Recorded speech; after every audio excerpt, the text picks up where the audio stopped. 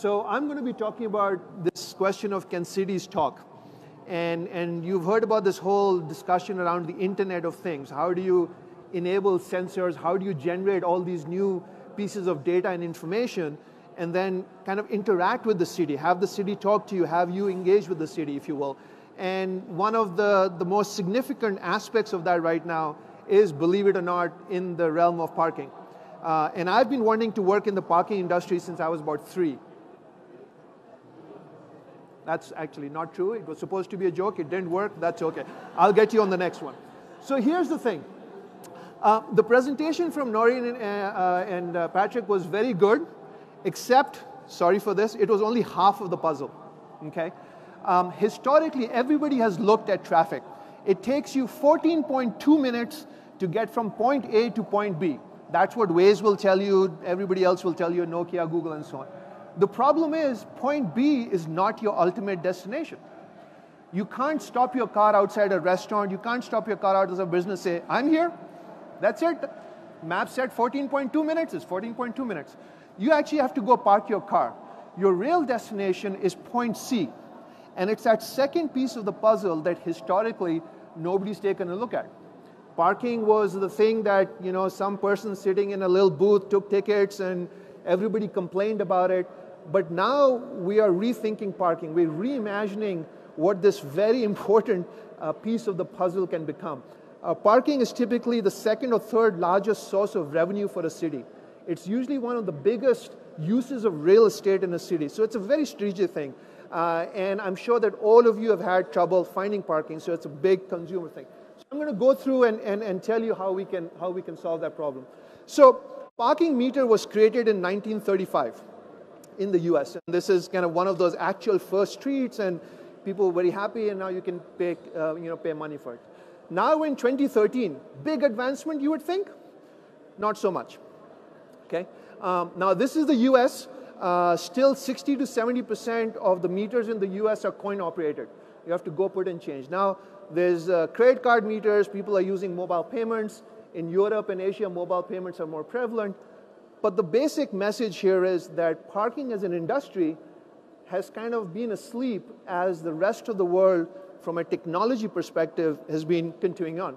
So you can use your iPhone app to go find a spot, you can use Yelp to check on the restaurant, you can use things like OpenTable to make a restaurant reservation, and you do all of these fancy things on your app, and then you drive around, and you drive around, and you drive around, and you drive around and then your wife says, no, turn left, you say, no, it's turn right, and you have an argument, we can solve that as well, by the way, and you drive around. So, not much has changed in the parking industry. Um, now, for cities and universities, um, this, as I said, is a real estate asset. It's an asset that really hasn't been managed, significant source of revenue associated with it. The congestion piece of it is very real.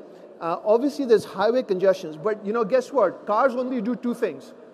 Uh, they drive and that's the congestion on the road, and they stop. And when they stop, that's the parking piece of it. And that earlier metric, about 30%, in New York City, it's estimated to 40 to 45% of that traffic. Uh, and of course, there's significant environmental uh, impact as well. So when you solve that problem. So these are two pieces of the coin, the, the traffic that happens on the street and how the parking piece of it. For drivers, of course, a huge source of frustration. You know, you're in that traffic jam, you come out, you search for the parking, that's an issue. There's actually a real economic cost as well.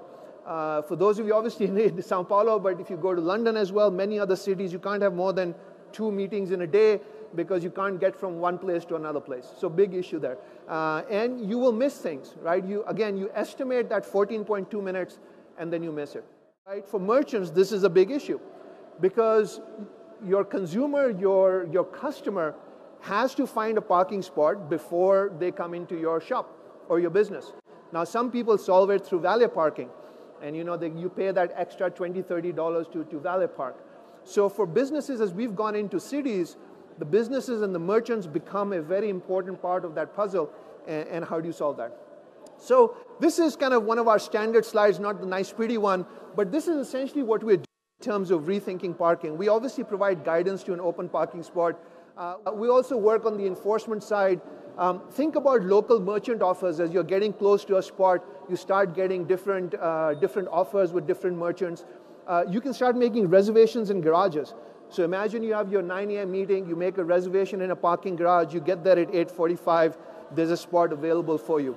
And, and of course, mobile payments, and at some point, you have to integrate traffic information because you're talking about end-to-end destination management. So this is a little bit of a, of, of a, heavy slide, but, but how do we do this is we actually put sensors on the ground in each parking spot. It's a little disc. Uh, Siemens is a partner of ours and they deploy the sensors. They can go put out five to 600 sensors in a day. Then you have a mesh network on top of it that communicates the data and information. It's very easy to deploy. Uh, we can have uh, you know three, four, five thousand sensors up and running in two weeks. So the physical deployment of it is very straightforward. Um, one new thing is these two white boxes and the, the other one there is we haven't gotten into this business yet, but now that smart parking has really become one of those killer apps for cities, we're starting to look at other use cases underneath that mesh network. So pollution sensors, sensors in fire hydrants, sound sensors, other things that can be extended and used. The sensor itself is not that complicated. The problem becomes is how do you get that data and information out? So this is one of, now once we get all that data and information, the magic is actually in the information and, and what do you do with it. So Streetline has built a series of applications on top, uh, both for cities on how to manage data and information, for consumers, if you have an iPhone or an Android phone, there's an app called Parker, P-R-K-R, you can download that. This is one of the things that you get as part of that app. This is showing you the real-time data uh, in, well, this is a slide obviously, but you can see the real-time data in any space, in any spot, all the time. Um, this is analytics, so imagine knowing on every block, every second of the day what that data and information is. Then you can start doing things like dynamic pricing. You have congestion management for traffic, you can start doing dynamic pricing uh, for that. Now, from a consumer perspective, here's the issue. Um, and, uh, and Rand made this point, there, there's just so much physical infrastructure that's available. You can't add more parking spots. The problem is one of information, the problem is not one of more physical infrastructure. And the issue is that a motorist has three choices when he or she kind of gets to that point. Take a left, take a right, go straight. And what Streetline does, seeks to do, is influence that point to decide whether you take a left, whether you take a right. Now, on the example on the left, the person did not have access to Parker. They drove around. They eventually got to their parking spot. The lady on the right had access to Parker, knew exactly where that spot is, and was able to go there. And that really, it works today and, and makes a big difference. So, and I love the title of, of the presentation today on you know, what works. This is something that has been deploying today. We're in 35 plus cities. We're to rush through some of the, the examples right now. So we're in Los Angeles, 9,000 spaces, downtown Los Angeles, Hollywood. You can find a parking spot in one or two minutes. The city is completely rethinking how they manage parking. Dynamic pricing, smarter enforcement, it becomes a strategic asset rather than something on the side. Uh, we're now deploying in New York City. We did an event with uh, Mayor Bloomberg two, three weeks ago. We're starting off in the Bronx and we'll be expanding to other parts of New York City. But it doesn't have to be just large cities. It can be smaller cities, uh, tourist destinations, uh, small towns, Palo Alto where I live in California, where there's a lot of activity, but only in a you know, 10, 15 uh, block area, uh, if you will. Analytics, policy management becomes critical. Uh, we're now going international. Uh, Birmingham, Manchester in the UK. We're working with Siemens in, uh, in Germany. That becomes very critical. We did, I know Cisco is a big sponsor of this project. Uh, they're an important partner. We did two projects with them in San Mateo and San Carlos in, in, uh, in California as well. So universities. Universities are like small towns. Uh, I have the privilege of teaching at Stanford University as well. You know, try finding parking there and getting to your class on time. It's, it's very difficult to do. Uh, and finally, transit stations. We're working with the Washington, D.C. metro system. You know how many parking spots there are, where they are before you take that exit to get to the, uh, uh, get to the road. So, um, you know, it's, uh, it's been pretty interesting over the last two years, and I joined um, uh, Streetline about two and a half years ago. Uh, there's been this explosion of interest in, in, in smart parking, um, and the, the publicity has been amazing. And I think it's because it's a topic that touches so many different people the citizens, the merchants, uh, the cities because of the revenue associated with it, uh, and that's obviously been, uh, been great.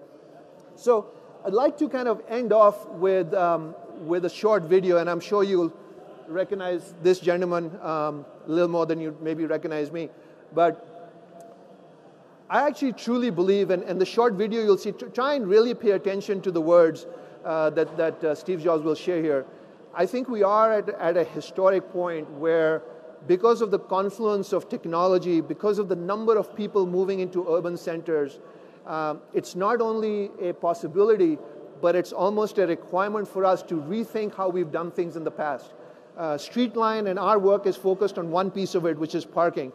But the, the sessions and the conversations that are happening here have to think differently uh, and have to approach problems from a completely new perspective.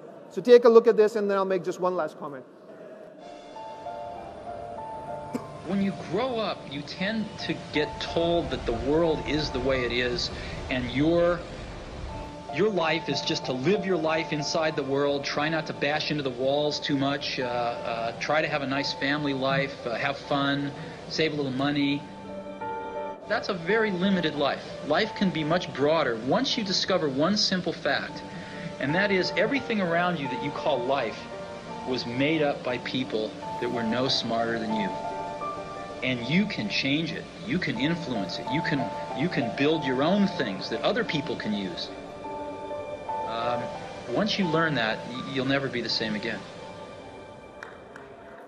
So this influenced me a lot. I hope it will influence you as well. And thank you very much for your time.